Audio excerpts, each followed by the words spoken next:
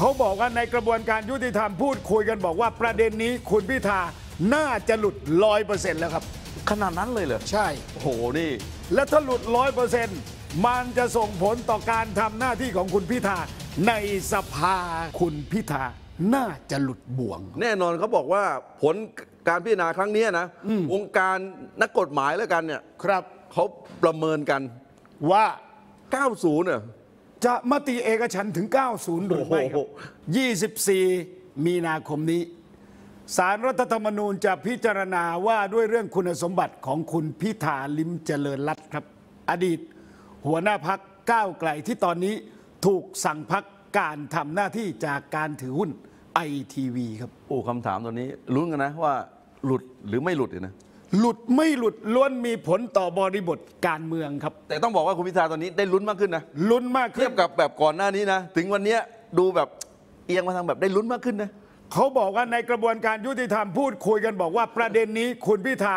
น่าจะหลุดร้อยเปอร์เซ็นต์แล้วครับ ขนาดนั้นเลยเหรอใช่โอ้โหนี่ และถ้าหลุดร้อยเปอร์เซ็นต์ มันจะส่งผลต่อการทำหน้าที่ของคุณพิธา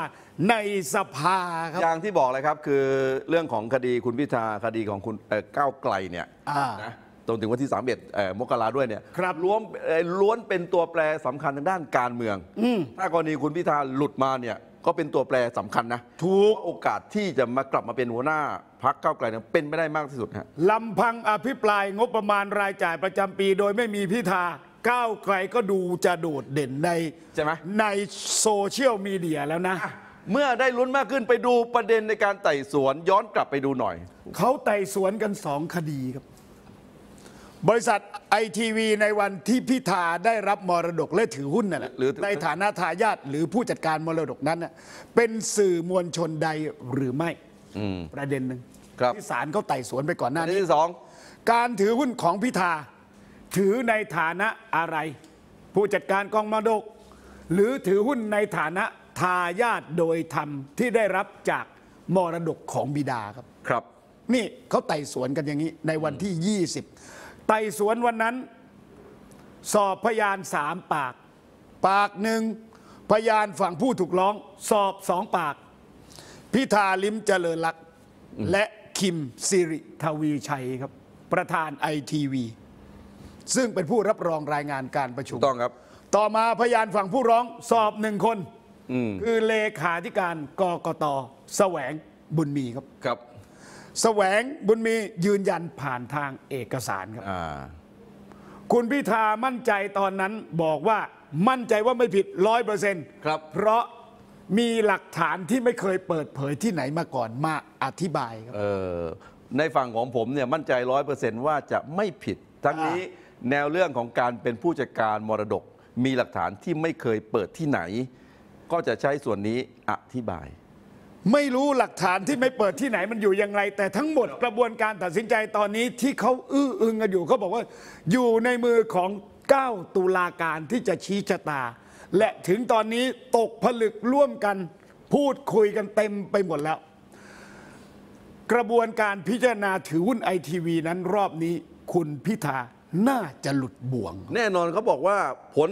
การพิจารณาครั้งเนี้ยนะวงการนักกฎหมายแล้วกันเนี่ยครับเขาประเมินกันว่า 90เนี่ยจะมติเอกฉันท์ถึง 90 หรือไม่ครับ แต่ 90 ฝั่งไหนล่ะ ไม่รู้ครับ เพราะอะไรครับ เพราะว่าด้วยเรื่องอำนาจรัฐครับครับ และเคยมีกรณีของคำสั่งศาลปกครองสูงสุดในคดีนี้มาเป็น ตัวตั้งแล้วย้อนไปปี 250พี่โอยี่ยี่สิบเจ็ดกุมภาคอรมอมีมติให้สปนสำนักงานปลัดสำนักนายกรัฐมนตรีครับครับ ยกเลิกสัญญาการเข้าร่วมการงานกับบริษัทไอทีวีจำกัดมหาชน เนื่องจากไอทีวีไม่ชำระหนี้นะครับ และมีหนังสือเลิกสัญญาในวันที่ 7 มีนาคมเอาละสิครมมีมติตามสปนไปครับ ตรงนี้น่าสนใจครับนะครับ หลังจากนั้น ก็สู้กันต่อไป เพราะไอทีวีไม่ยอมครับครับ นี่ ตอนนั้นและก็ยึดทรัพย์สินมาเป็นทรัพย์สินของสปนทั้งหมด อ่านี่ นี่คือคำสั่งและมติคอรมอครับอ่าถามว่าคำสั่งนี้เป็นการใช้อำนาจรัฐหรือไม่ ใช่ดิ เห็นไหมอ่า อันนี้หนึ่งนะตอนนั้นต่อมาศาลปกครองสูงสุด ครับ ได้ตัดสินคดีคดีหนึ่งครับ และเป็นบรรทัดฐานว่าตกลงเนี่ยไอทีวีเป็นสื่อหรือไม่ ศาลปกครองบอกว่าอย่างนี้ครับยึดตามนี้เลยเหรอใช่ บอกว่าการที่สำนักงานประหลัดสำนักนายกอะมีหนังสือแจ้งบอกเลิกสัญญากับไอทีวีเนี่ยนะลงวันที่และให้เจ็ดมีนาส่งมอบทรัพย์สินเนี่ยนะอ่าถือว่าบริษัทไม่ได้ดำเนินธุรกิจใด ๆ ทั้งสิ้นมาตั้งแต่ปี 2552 แล้ว เอาอีกทีครับ บริษัทคำสั่งการปกครองนี้นะ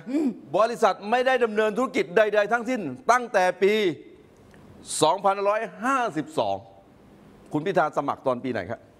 เอ่อคุณพิธา ปีไหนละปีนี้ ก็ปี66ไงก็ปี 66 นี่เองนะครับ เพราะฉะนั้นประเด็นว่าเรื่องคุณสมบัติและการถือครองหุ้นสื่อเนี่ยครับ มันจะถูกสิ่งเหล่านี้แหละครับ ค่อย ๆ หักล้างไป ประเด็นคุณพิธามันติดอยู่ตรงไหนล่ะพี่วี อืมนี่ไง ติดอยู่ที่สองประเด็นเนี่ยนะหนึ่งคุณพิธาที่ติดบ่วงเนี่ย ถือหุ้นมาแล้วโอนหุ้นจริงหรือไม่ และโอนเมื่อไหร่ ครับ มันเข้าข่ายขัดกับรัฐธรรมนูญหรือไม่จากการถือหุ้นสื่ออืมสองสัญญาระหว่างไอทีวีกับสำนักปลัดอะตกลงมันขาดไปแล้วหรือยังครับ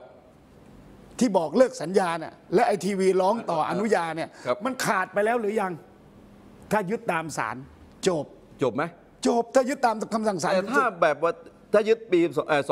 2552ที่บอกว่าอ่า ไม่ดำเนินการธุรกิจแล้วเมื่อกี้ ใช่ เพราะฉะนั้นเรื่องมรดกไม่ต้องไปพูดถึงเลยไม่ต้องไปพูดถึงแค่เลยว่าไอทีวีทำธุรกิจต่อหรือไม่แค่นั้นเองเป็นอ่าสื่อหรือไม่เนี่ยก็จบแล้วใช่ไหมอ่าก็จบไม่ต้องแล้วไปพิจารณาเรื่องมรดก ใช่ หลักฐานใหม่เรื่องมรดกก็ไม่ต้องไปสนใจ อย่างไรก็ตามในกรณีที่คุณพิธาไม่รอด ครับ คุณพิธาจะเจอมรสุมอีกดอกหนึ่งนะอืมเพราะมาตรา 151 151 ของพรบการเลือกตั้งสสมันกำหนดไว้ ครับ นอกเหนือจากเรื่องขาดคุณสมบัตินะจากการรู้อยู่แล้ว ว่าถือครองอะไร แล้วก็ไปใช้สิทธิ์สมัครเนี่ยต้องระวังโทษจำคุก 1-10 ปีอืมปรับ 20,000ถึง200,000 ครับ และให้ศาลสั่งเพิกถอนสิทธิการเลือกตั้ง 20 ปี ซึ่งอันนี้ต้องเอ่อกกตเหรอ ต้องไปยื่นต่อเหรอใช่ ครับ ในกรณีที่ไม่รอด แต่ตอนนี้เขาบอกว่าอนาคตพิธาดูท่าจะรอดซะแล้ว ถ้ารอดจะเป็นยังไงครับ ครับ นี่แหละครับ ถ้ารอดศาลก็จะยกคำร้อง ก็ถือว่าคุณพิธาไม่ผิดจากการครอบครองหุ้นไอทีวีครับก่อนสมัครรับไม่ถือว่าคุณพิธาเนี่ยมีเจตนาครอบครองหุ้นไอทีวีใช่ ก่อนรับสมัครเลือกตั้ง จึงไม่ขาดคุณสมบัติ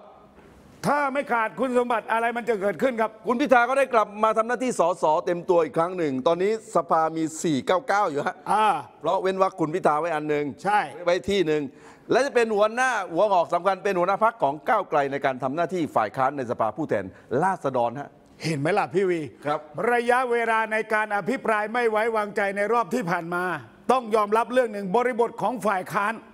ได้รับการชื่นชมครับ เพราะฉะนั้นถ้าคุณพิธากลับมาในสภา โอ้โห การเมืองยิ่งร้อนก็ไปใหญ่ เพราะเพราะแกนแกนหลักของเอ่อเอ่อเพื่อไทยเนี่ยที่อ่าปลายดาวเด่นเนี่ย ไปเป็นรัฐมนตรีหมดไง ไปเป็นรัฐมนตรีหมด เลยตอนนี้มีหลายคนต้องลาออกเพื่อให้สสหน้าใหม่ขึ้นมาเนี่ย คุณดูนะรอบที่แล้วก้าวไกลได้ 151 ใช่ไหมใช่ครับจำนวนสสได้คะแนนเสียงมาตั้งเยอะตั้งแยะ และคุณพิธาเครดิตก็ไม่ได้ลดลงเลยโอ้ตอนโหวตตอนทำไอ้ตามโพลเนี่ยใช่ครับคุณดูสิเพราะขากับอนาคตไอทีวีล้วนแล้วแต่มีผลกับเรื่องของบริบททางการเมืองและสถานะของรัฐบาลครับ